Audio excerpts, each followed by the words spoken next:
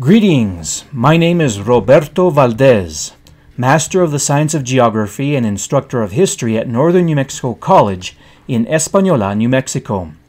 The arrival of Paleolithic humans to the American Southwest El Norte Mexicano, as it is also known, progressed in response to climate changes to a set of eras known as the Basket Maker eras.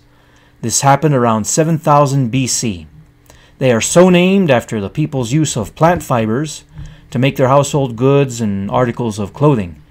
There's early basket maker, uh, basket maker 2, and basket maker 3 eras, with the first era often being called the Archaic period.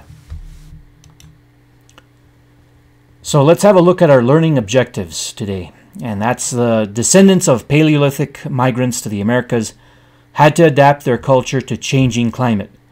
Climate change has been typical for humans as part of life on Earth for a very long time.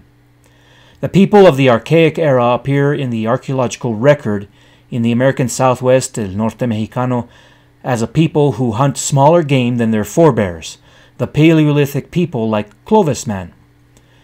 You'll hear um, in this lecture how wild foods and famine foods of our subregion in New Mexico fed the early people of the Southwest El Norte region. I want you to know how the domestication of plants such as corn, beans, and squash and other foodstuffs improved the lives of the hunter gatherers.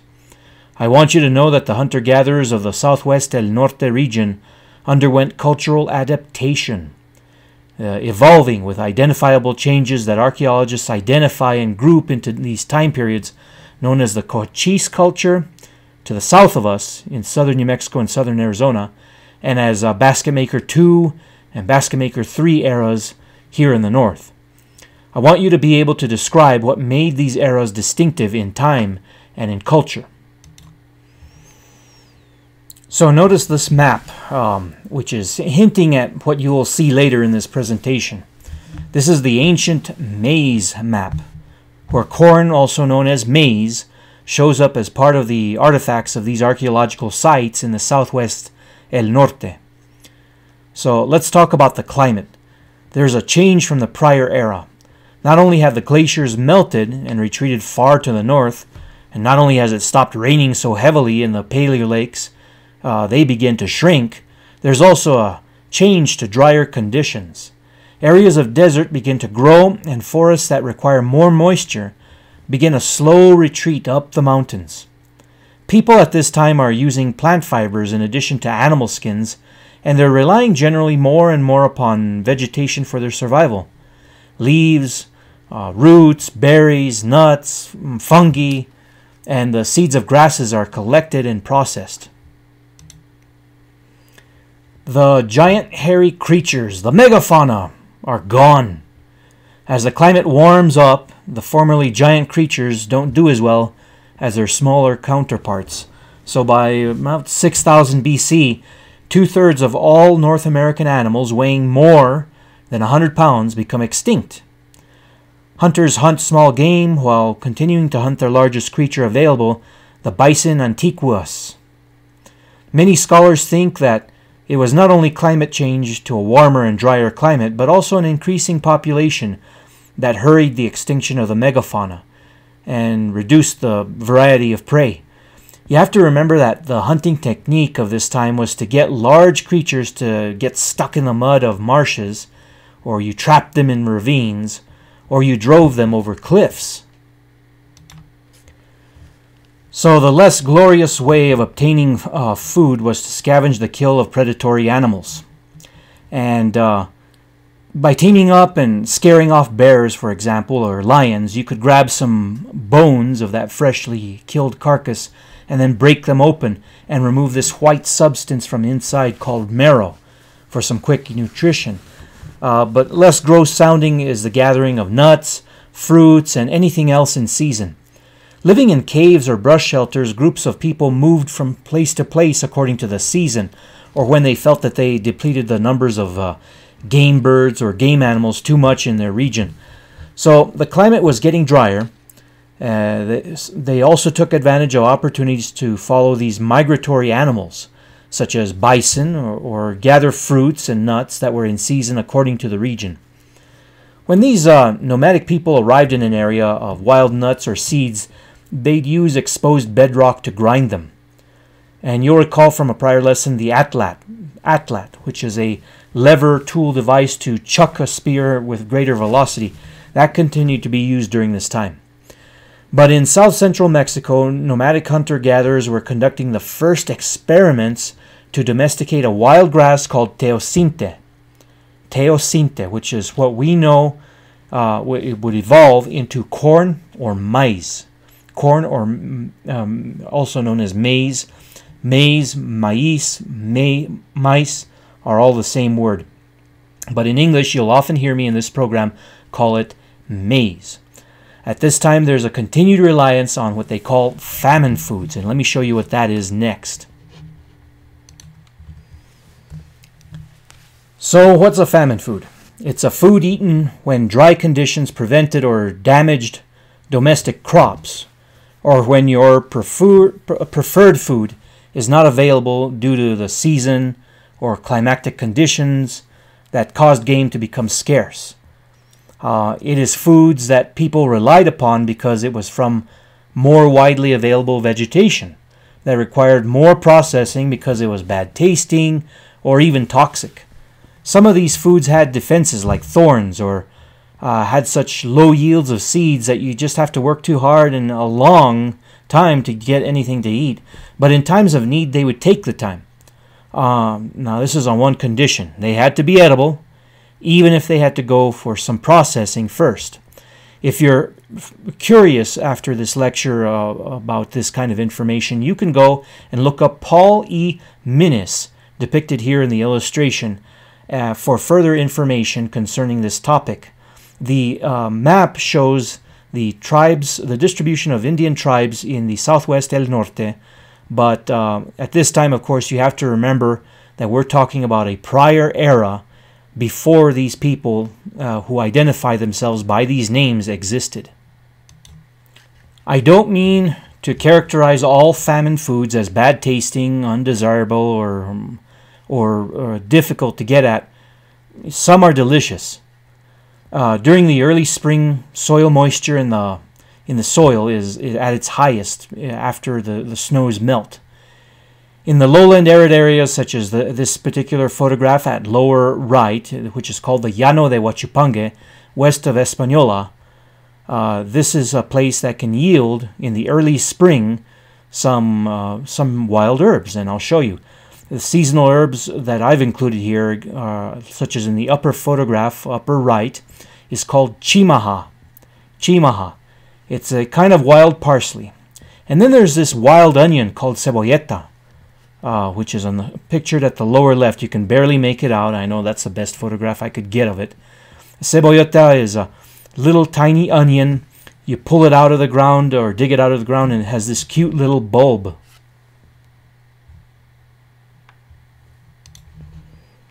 Next, I'd like to show you some uh, examples of uh, grasses that yield seeds that are good to eat, um, although the yield is very low and uh, this includes the common reed grass shown at the right and the Indian rice grass shown below.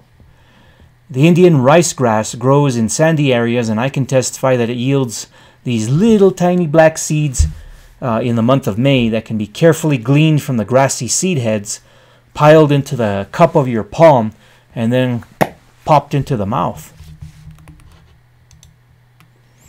Now let's have a look at the milling sites used to, the, to process the seeds and nuts.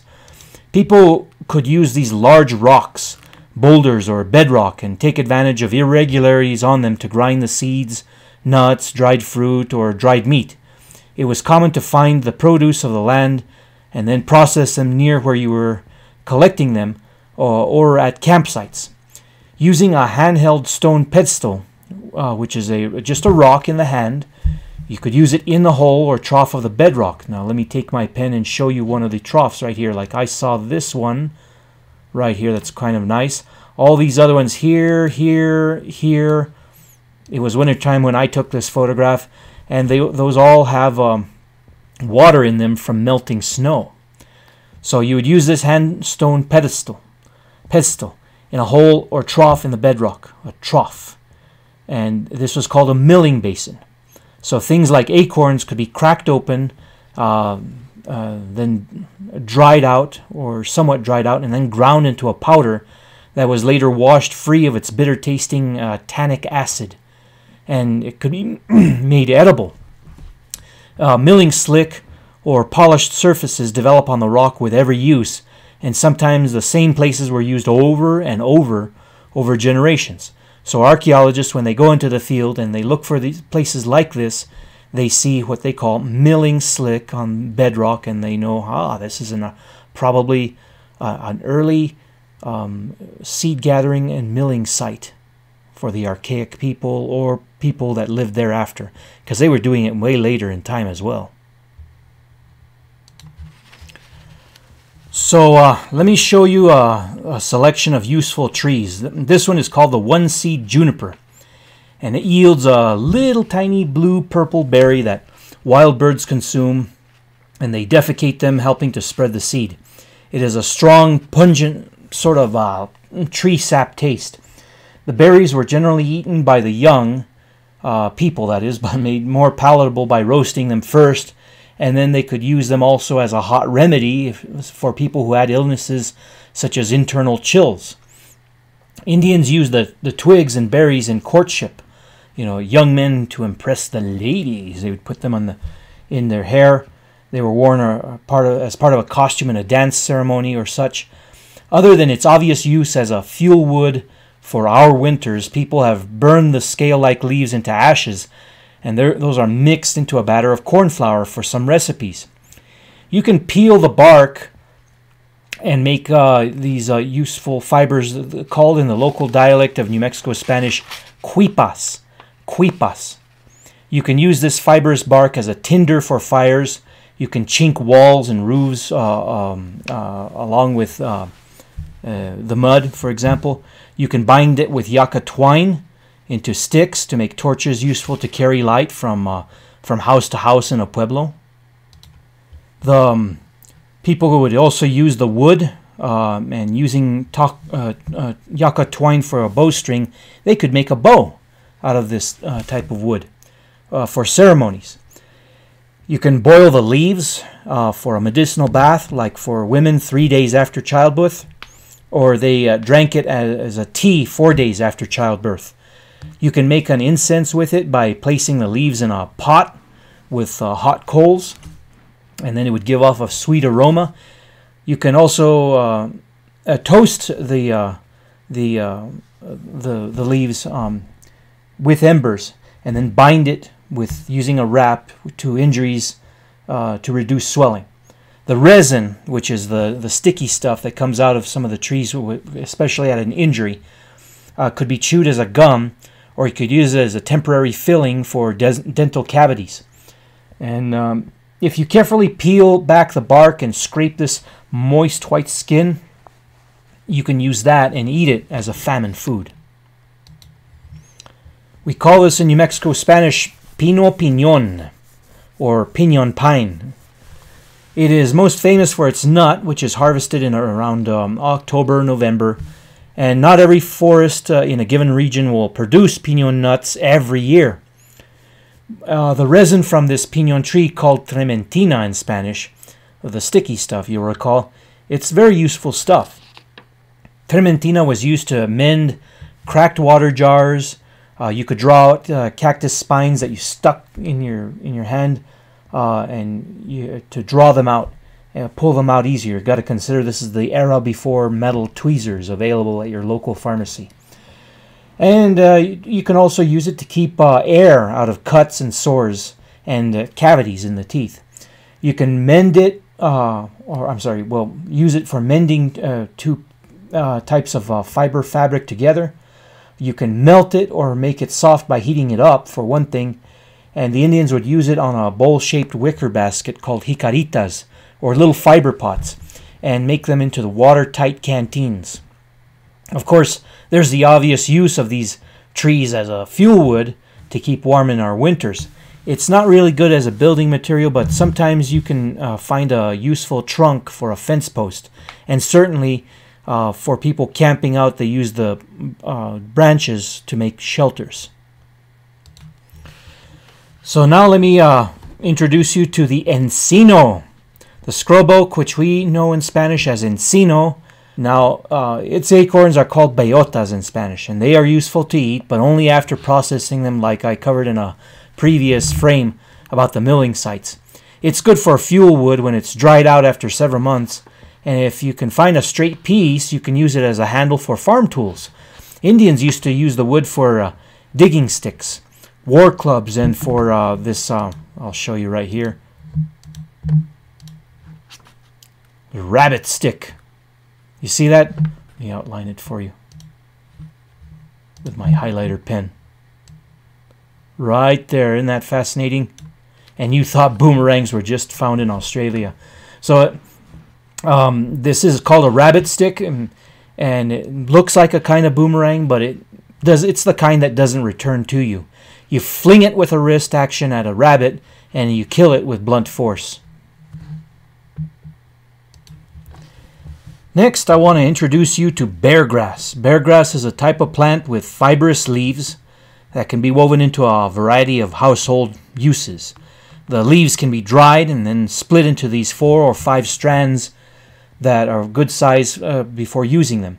Beargrass can be found in uh, arid mountainsides in the states of Arizona, southern New Mexico, and northern Sonora and Chihuahua, Mexico. Uh, people known as the Pima and their rivals the Papago of Arizona, who call themselves the Tohono O'odham. They uh, would use it to weave baskets, as do the people of uh, Jemez, New Mexico, and the southern Rio Grande pueblos, like Isleta. In Isleta Pueblo, New Mexico, uh, beargrass seeds were ground into a meal for food, and their roots uh, can be boiled and used to treat uh, rheumatism and uh, pneumonia. It's not just uh, beargrass that was useful for its fiber. Here in the north central state of New Mexico, we have another notable and shall I say symbolic plant, symbolic of the Southwest, that is often uh, used uh, for soap, the roots are. Um, it's called the yucca, but it's also called palmilla, palmilla in the New Mexico Spanish language. Uh, twisted fibers can be used to make rope, but you have to go through this process of boiling or roasting them and then beating out the flesh. The same goes with uh, um, agave, another plant called agave. It would take an Indian community um, to work to get the leaves of the yucca or palmilla and then process them to separate the fibers to make things such as fishing nets uh, for the rivers. Uh, in one story that I heard, an entire village would dedicate time to do this. They would put all, many members of the tribe to chew the, the fibers and, uh, and to separate the flesh from the fibers. Uh, and then with the fibers, they could then spin them into twine and then twine into the fishing nets. Now, other uses by the American Indians include sandals, such as shown at lower uh, left here, and pot holders. Uh, pot holders for balancing a water jar on the head. They're circular and they go on the top of the scalp to support a, uh, a water pot. Now, I would like for you to learn the name of one of the more important people named by archaeologists um, it's a cultural group that lived in the southwest El Norte during the Archaic period time. Earlier, I introduced you to the uh, Archaic area that, or era, I'm sorry, that stretched from 7000 BC to 1500 BC, and it's also known as the early basket maker era. The Cochise tradition, um, however, occupied an obscure time from before 5000 BC to 2000 BC in what is today's southern New Mexico and southern Arizona. The Cochise people who lived in the Mogollon Mountains and the Mogollon Rim area were starting to settle down a lot more, but they moved around with the seasons. And they're named after a lake. So in order so that there's not too much confusion about what I'm talking about, here's the uh, area of the southwest that I'm going to zoom in on Notice it's New Mexico and Arizona. There's part of California, all these different states that didn't exist at this time. So this is a broad region of a climate in which these people wandered about in. Uh, remember, I want you to learn to despatialize. Here's the Mogollon Rim, outlined here. You'll notice this chain of mountains, and I will outline it in uh, my, well, let me get my uh, red pen so that you can see it, stretching from here, like this, Mogollon Rim, into the headwaters of the Rio Gila, or Gila River. Um, the Mogollon, the Sierra del Mogollon here, there's different names for these different chains of mountains all throughout this region. So for the sake of simplicity, I'm going to call this, uh, I'll sometimes refer to it as the Mogollon Rim, but also the Mogollon Highlands. So this area is uh, significant because it's the habitation of the Cochise people. Let me uh, grab my eraser and uh, erase that. And I'm going to uh, zoom in to a place that I want you to see. It's called Willcox Playa. It's right in here. See that?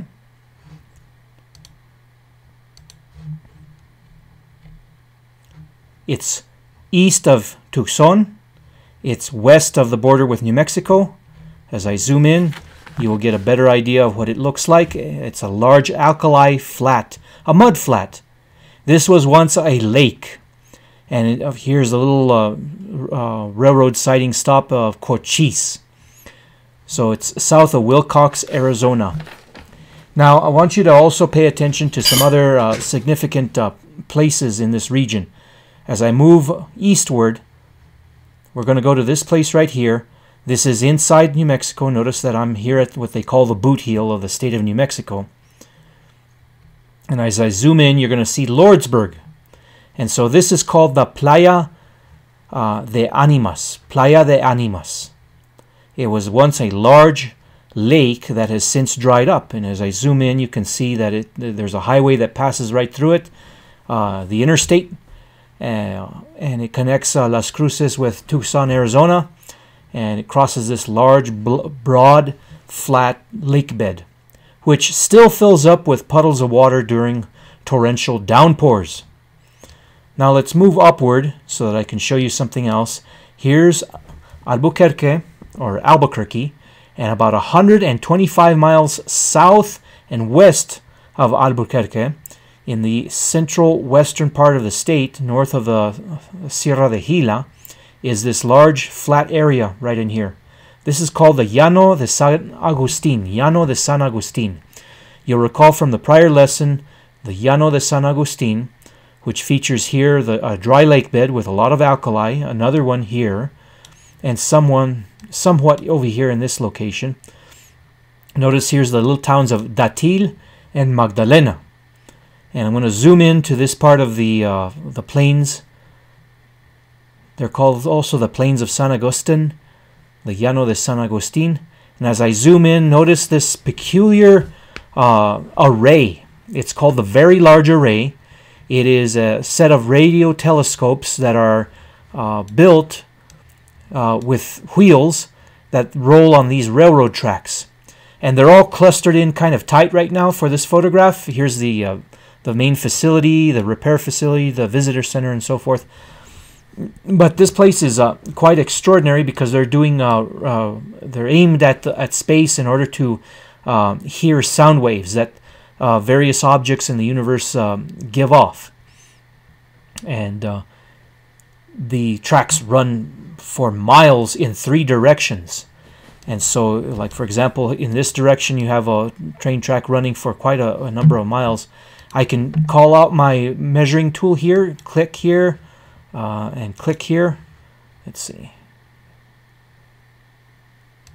12 miles is one uh, arm of this uh, very large array and they selected this place because it's very flat.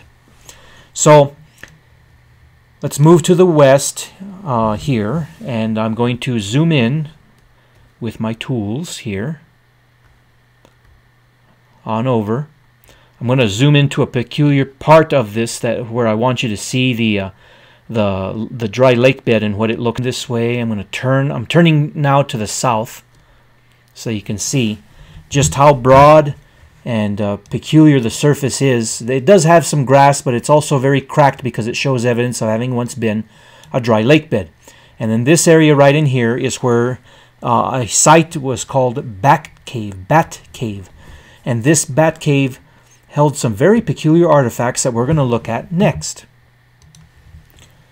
So members of the Cochise culture uh, living in the, that broad basin in the west central state of New Mexico known as the Llano de San Agustin, uh, that was a shrinking paleo lake, um, were, were discovered in this place known as Bat Cave, which was excavated during the years of 1948 to 1950. Scientists were just developing this thing they call radiocarbon dating, which is a method of testing the age of, uh, of any kind of dead organic matter for the slight amount of radioactive carbon that it has that wastes away over time at a measured amount. This includes the fragments of baskets, sandals, and remnants of early domesticated crops, as well as wild seeds and nuts that this ancient people gathered into their cave for storage. They found a goodly amount of bones and uh, of animals that they hunted around the area and that they ate, and that you see listed here, as well as stone tools and arrowheads. They also found parts of uh, atlatl spear throwers, as well as uh, bow tips and uh, cigarettes and smoking pipes. Let's have a look at some of these items. So here we see three articles woven out of fiber made of yucca or palmilla. And on the left is a coiled uh, flat basket made by starting in the center point and then weaving the fibers around in a circle to the edges to the satisfaction of the maker.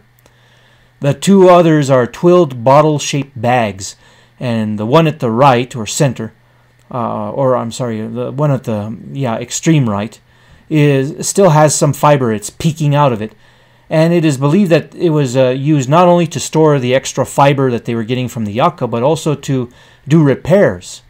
Uh, it also served as a spinning whorl, so you would uh, uh, it was like a spindle. You draw out some of the fibers and you twist them, uh, eh, spinning the bag around and around. So you drew them out to make thread, twine, or things like what you, uh, you are about to see in the next frame. So here we have a set of sandals uh, left behind in the cave from those ancient times. To the left, you can see that the finest of the collection that I've selected here for you to see is made of very finely woven yucca or palmilla fiber. Uh, and also, there is also a larger plant growing in the mountains called amole, or wide-bladed yucca. The examples to the right are thicker and uh, clearly easier to make. But notice that the one in the, uh, roughly the large one in the middle, uh, is, uh, it's the third from the right, still has some tying straps that tied around the foot. Among the finds was this fantastic example of early corn or maize. Seeds had clearly been traded north from its origin from, uh, in south central Mexico by this time. The latest dating method assigned it a time to around uh, 2430 to 1130 BC as a reasonable period for the earliest farming in the region. Now, shown at left is two examples of a primitive pod popcorn measuring uh, about four to four and a half inches long. This is a kind of corn older than a corn that would appear in, later in Mexico called chapalote. Uh, chapalote is a long season corn. Here in the north, of course, the growing season is shorter. Shown at right is the corn cob, or um, with its husk still intact. It had four leaves, uh, and and the thing is, it this particular corn cob uh, with husk did not show signs that it fully covered its cob. I should point out that the individual kernels of corn seeds on the photo to the left uh, in the pod popcorn were enveloped individually on the cob by these little pod leaves uh, in this primitive pod popcorn. So where did uh, maize or corn come from? You heard me mention earlier it's south central Mexico.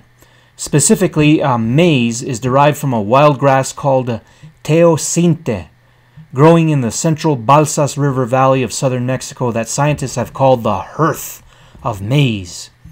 Uh, it's estimated that domestication may have occurred sometime after 9,000 years ago because they found an archaeological site that had stone tools with the residue of early maize in the layer of deposits that were dated to 8,700 years ago. The inhabitants of south central Mexico deliberately planted seeds of teosinte that had the characteristics they most appreciated. Maybe it was size, maybe it was even taste.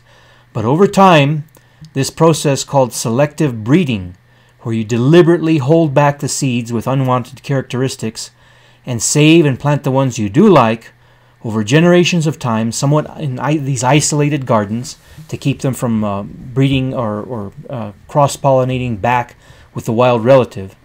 And you create this new food form, but it's directly related to its natural or native relative.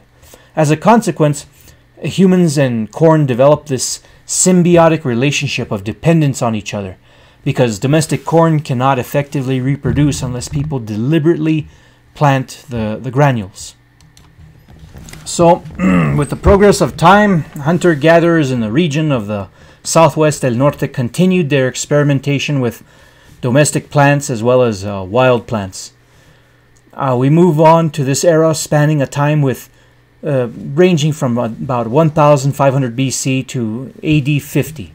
Shown in this photograph is a diorama or model of miniatures depicting uh, life in a rock shelter by nomadic people doing things like scraping hides, uh, drying meat, weaving baskets, and building small shelters dug into the ground.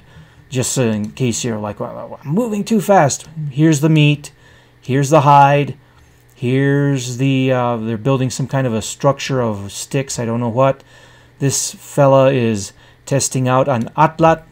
A child is admiring the adult doing so. Um, you have uh, uh, people with baskets, women with baskets here and here. This one is grinding corn. Uh, this one is working on some kind of project, maybe uh, doing some sewing.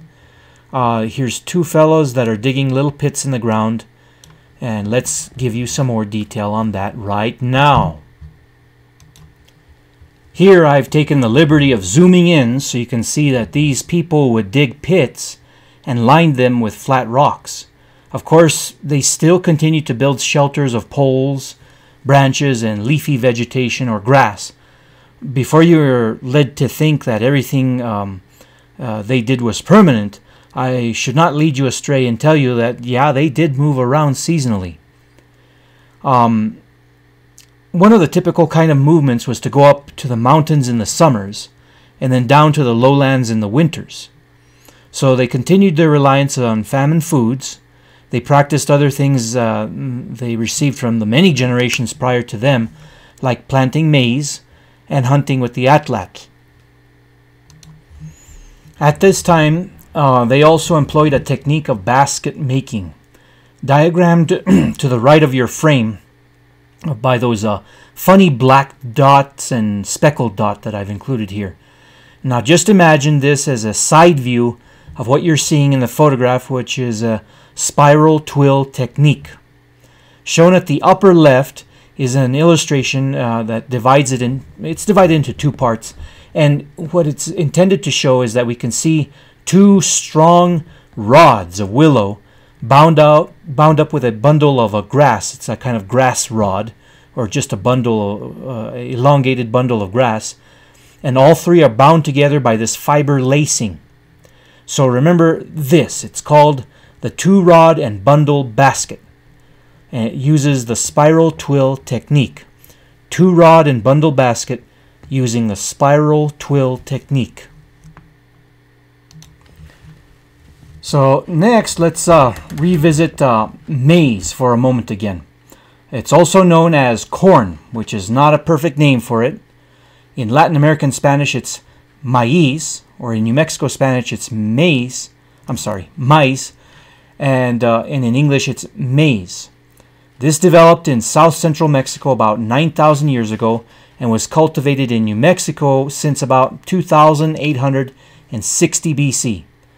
When Cochise people in the Mogollon Rim uh, region of Arizona and New Mexico cultivated maize, we're starting to see them settle down more and more. Now, their rivals to the north the early basket maker people uh, started to settle down later. The people of the Colorado Plateau began to uh, cultivate maize around 500 BC. Now that's the Four Corners area that we know of today. Arizona, Utah, Colorado, and New Mexico all meet in a common Four Corners area uh, that is straddling or layered on top of the Colorado Plateau. Now, um, it wasn't until about a thousand years later in that region that they grew dependent upon maize. In the photograph below are two cobs from Mesa Verde in the state of Colorado, um, it, at one of the museums on, on, at Mesa Verde. The examples here are, are well, they're about 700 years old, but notice that they are smaller and they have a, this brownish wood stain color. Isn't that unusual? At that um, at a, another museum on the Mesa Verde, I took this photograph at lower left, which um, uh, you got to visit the place if you've occasion to, to have a chance because it's rich in archaeological sites uh, and, uh, just in general uh, the Four Corners region the uh, the whole area is rich in archaeological sites. But this one in the state of Colorado this museum has a collection of 700 year old remnants of agricultural products and I'm using them here to talk about uh, much later or much earlier time period. This one is only 700 years ago. We're talking about 2000 BC.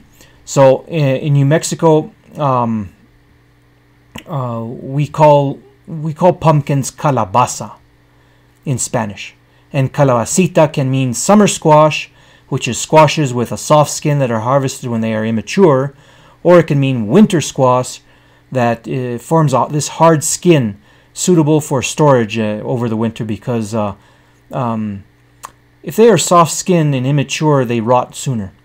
Pumpkins start out as small and soft in the summer as an immature vegetable, and if they are yanked from the vine while green to be cut up and fried, they are considered calabacitas as well. So once fully grown, the pumpkin can be kept for a while, but they need to be either eaten or cut into these uh, strips we call tasajos and dried on a clothesline so that they don't get moldy. Winter squashes like the one in the picture at lower left have delicious flesh that can be roasted and eaten immediately or kept over the winter because they have this protective shell, which is here preserved after 700 years. Uh, pumpkins or calabaza have one advantage over squash, and that's that they give these nice big seeds that can be roasted, cracked open, and then eaten. All this variety of uh, cucurbita is the scientific name derived from wild, wild relatives that were domesticated in Mexico perhaps around 6700 BC. These tiny little little squashes, wild squashes, are now these huge pumpkins that you can carry with both arms. So they arrived around uh, uh, 1680 BC to New Mexico, and they're found today in many places of the world now thanks to their distribution by European explorers that visited the Americas and then took some back. So let's discuss where beans came from, originating in south central Mexico at around the 7th millennium BC. They were domesticated from a wild plant with these itty bitty beans, uh, according to geneticists who took samples from Mexico. We call them frijoles in Spanish, and they appear in the archaeological record around 500 BC in New Mexico. So, Bat Cave in the Mogollon Highlands yielded a possible arrival date as early as 1260 BC, but generally, within a few hundred years BC, the cultivation of a, what they call Phaseolus vulgaris, or the common bean, takes off in New Mexico. In uh, the photograph below, we see some 700 year old bean vines. Yes, they are. They're from, they're well preserved because they were found in cliff dwellings high up on cliffs and stored away by the uh, original people. And then uh, when the place was abandoned, they left behind in these uh, storage cribs uh, their, their vegetable produce, believe it or not. So, and the, notice to the right, there's this bowl of beans. It's a kidney type of bean. The beans that I've included in the photograph to the extreme left are frijol de bolita, and that is the traditional New Mexico uh, Hispano variety of, of, uh, of bean that was grown here in New Mexico much later on. So now let's move on to um, to to how these people are evolving. Um, the late basket maker 2 era lasted from about the year 50 forward to the year AD 500.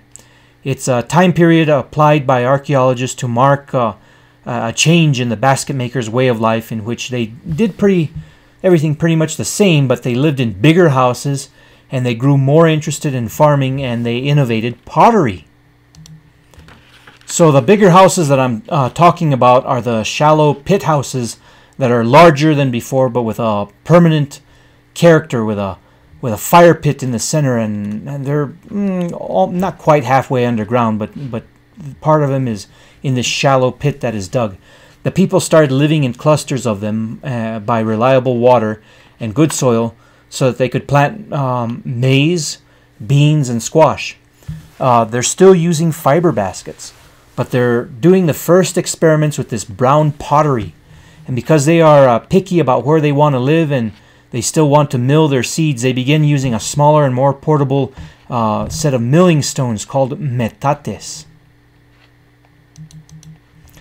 So let's look at projectile points. As we covered in a prior lesson, projectile points became smaller as uh, larger game began to disappear. So during the Basket Maker 2 era, we see the projectile points are about two-thirds the size of those of the Archaic era, and roughly half the mass of the Folsom points of the Paleo-Indian era. The atlatl uh, is still being used as the main instrument uh, for hunting. Um,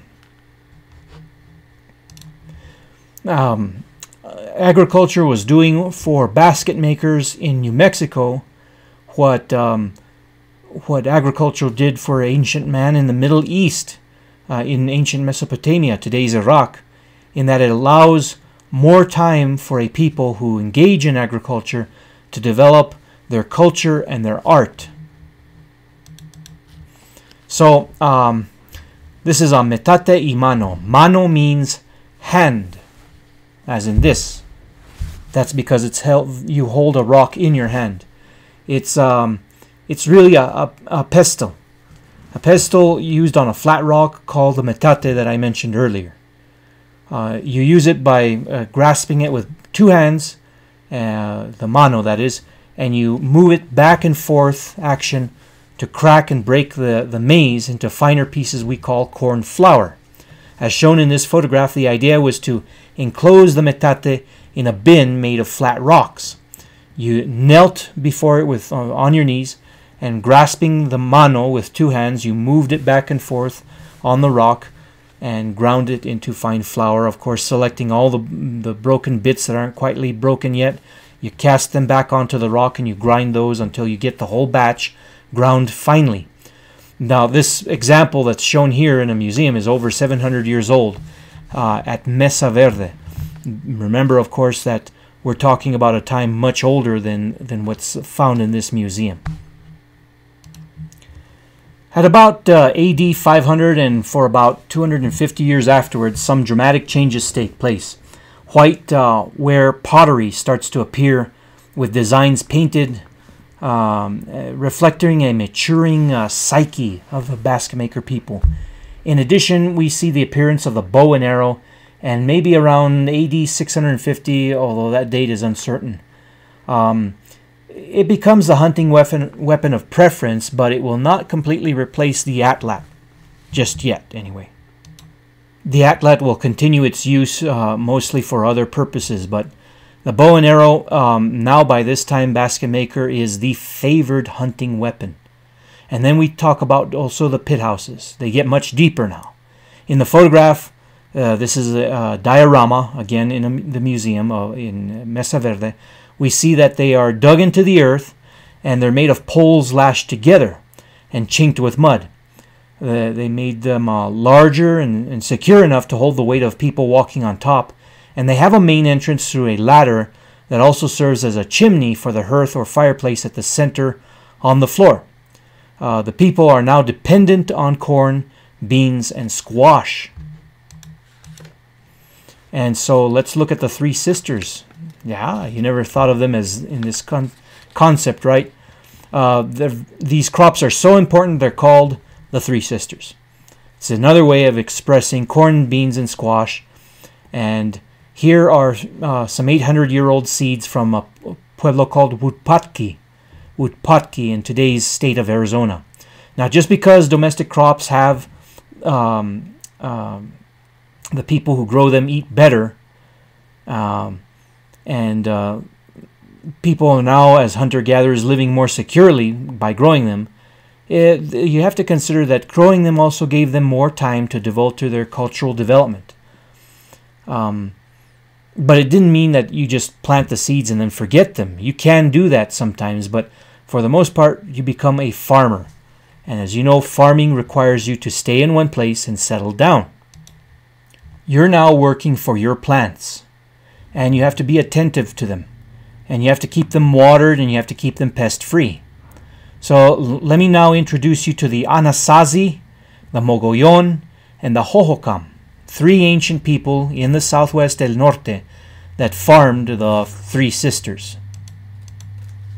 So here they are. This is the range uh, of the three cultures of Anasazi, the Mogollon, and the Hohokam.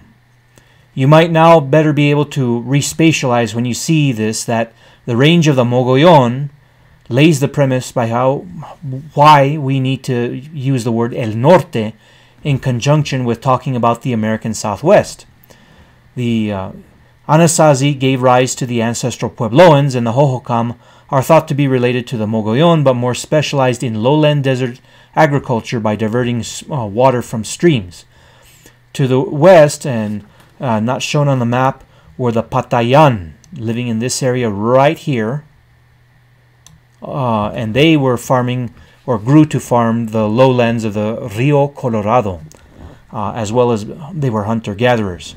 So, by respatializing, what I'm saying is that the present boundary of the U.S.-Mexico border and all the borders of uh, that are uh, uh, designate uh, political entities um, uh, do not apply when you start talking about the Mogollon, whose culture, uh, as a perceivable culture, existed in people that were in this area from the Gila cliff dwellings near Silver City, New Mexico, to a set of ruins here in Chihuahua that I won't cover just yet. So let's look at the design of the pit house. First, um, it was used by the Cochise people. It was then used by their heirs, the Mogollon, Anasazi, and Hohokam. It's a dwelling where they first dug out the earth in a, a nice round hole, and then they built a four-post frame to hold the roof. And then they leaned the, the poles on that frame. Let me point it out to you with my pen. So here's one of the holding posts right here another one. There's four of them. And then they make a square uh, set of beams here, like that. Then they lean these poles on them. And then they put a, uh, a set of slats on them, like lath, over that. And um, uh, here, for example, is the fire pit right here in the center. So, um, they these people had a predisposed talent for weaving baskets, and so you can kind of perceive this uh, home to be a, an extension of their weaving craft. They collected this, these straight sticks and bound them to the frame, uh, often lashing them with um, with fiber uh, straps or maybe even with rawhide.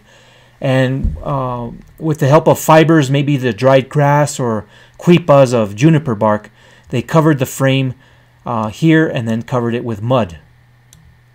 So uh, notice also right here on the top, this is the, uh, the roof hatch. It allows the smoke from the fire pit to escape, but it's also the means by which to enter and exit the little house, the pit house. With all this talk of domestic crops uh, in pit houses, we need to address something important.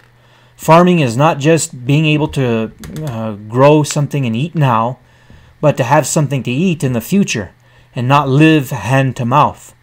This requires uh, planning out about uh, storage and the means to preserve what you've harvested and store your surplus somewhere where rodents don't eat it up for you.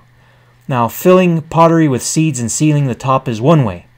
But I want to show you another way, such as depicted in this photo of a miniature museum display cut away so that you can see the inside.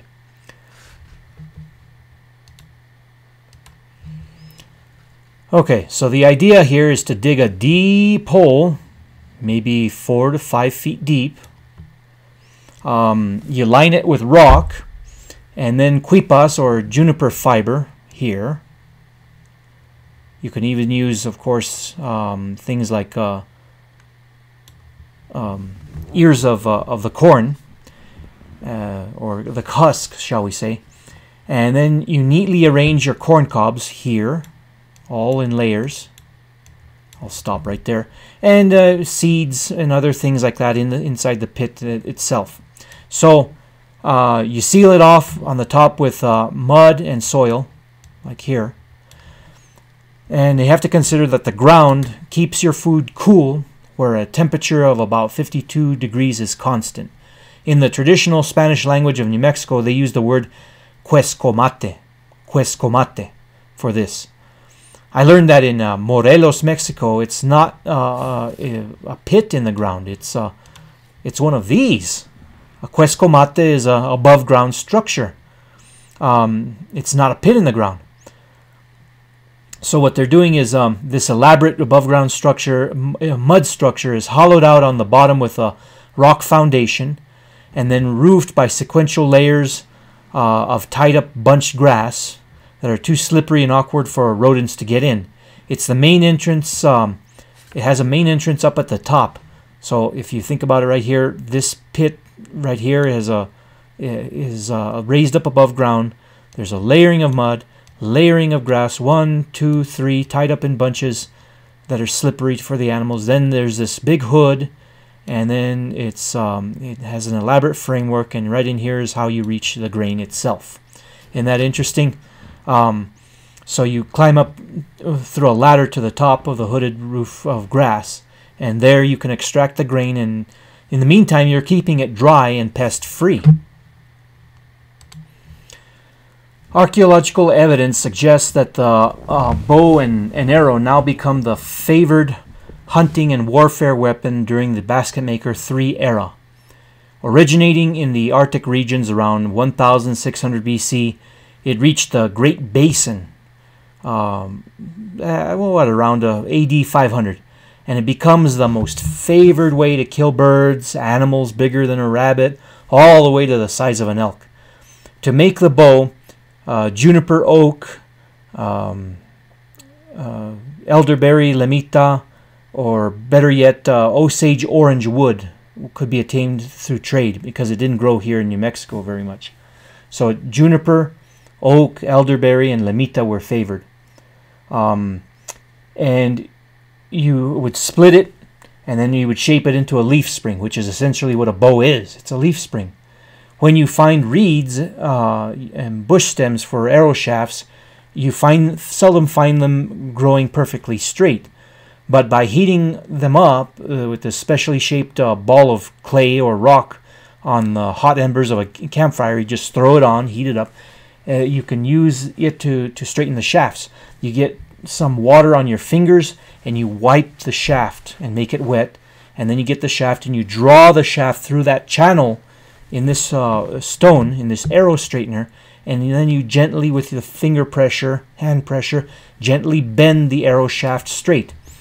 There's other things to do, like arrowheads, uh, which involve a lot of uh, knowledge of how to uh, chip, find the, the correct type of uh, a stone, which is could be obsidian, chert, flint, uh, chip them, shape them. You have to uh, tie them on with uh, little um, straps of uh, of sinew, which come from a deer. It's those white pieces like in beef jerky that that peel off, but longer versions of that, uh, like the tendons of the legs and so forth. And uh, you also use that as your string to tie on the arrow feathers. So you have to find feathers cut them to shape using stone uh, bladed web um, instruments, and then mount them onto the shaft uh, in little little grooves that you put into the shaft. And then you have to string the bow with some fiber, like from yucca or palmilla, uh, or even the sinew of deer. I want to introduce you to an ancient people who lived in today's Utah, practicing what is known as the Fremont culture. Uh, they lived in pit houses and they practiced what is known uh, uh, as a culture of pit houses, uh, all the way from uh, 300 AD to 1300 AD, when climate changed seriously and changed the demographics of the southwest del Norte region. While they were thriving, they were thriving, however, they were known for maintaining a lifestyle that elsewhere to the south evolved into the Pueblo culture of the Anasazi. The Fremont were known for their pit house villages and life in the rugged canyonlands. They moved from place to place according to the season, and they left behind some extraordinary rock art of, the, uh, these wide-shouldered uh, figures, human figures, believed to be shaman, as well as other humanoid figures, lots of animals and strange symbols. Uh, so, as we draw to a conclusion, I want you to know uh, why are the basket makers, uh, the basket maker people, why are they called basket makers? The answer is because they were into the fiber arts, among which was the weaving of um, household goods like baskets. Do you know what a metate is? A metate is a stone that was developed to grind uh, seeds and grain and turn especially corn into corn flour. And then you have uh, pit houses. Uh, uh, what are they? They are dwellings dug out of the earth and covered by roofs of mud, and of course, poles and other things that you just saw. Descendants of Paleolithic migrants to the Americas uh, adapted their culture to this changing climate which became warmer and then drier. And then you have the Archaic era people that appeared in the American Southwest del Norte Mexicano. Uh, and you had the Cochise people. You had uh, wild foods and famine foods of our subregion of New Mexico that fed the early people of Southwest del Norte region. So make sure you know what a famine food is. It's those foods that uh, you rely on when your favorite foodstuffs are not available. And then uh, let's um, look at uh, wild uh, or domestic plants such as the three sisters of corn, beans, and squash. And yeah, I can you can use corn, corn, beans, and squash rather than maize. And uh, others foodstuffs uh, arrived and improved the lives of the hunter-gatherers, leading them to settle down, which then subsequently led to advancements in their culture and their art. Now, you learned also how the hunter gatherers of the southwest del Norte region evolved into three eras the early basket makers of the Archaic era, the Basket Maker 2 and the Basket Maker 3 eras, were where cultural advancements uh, included such things as domestic crops with higher yields, the bow and arrow, pottery, and this self semi-permanent life in villages and pit houses. So this concludes the lecture on the basket maker time periods.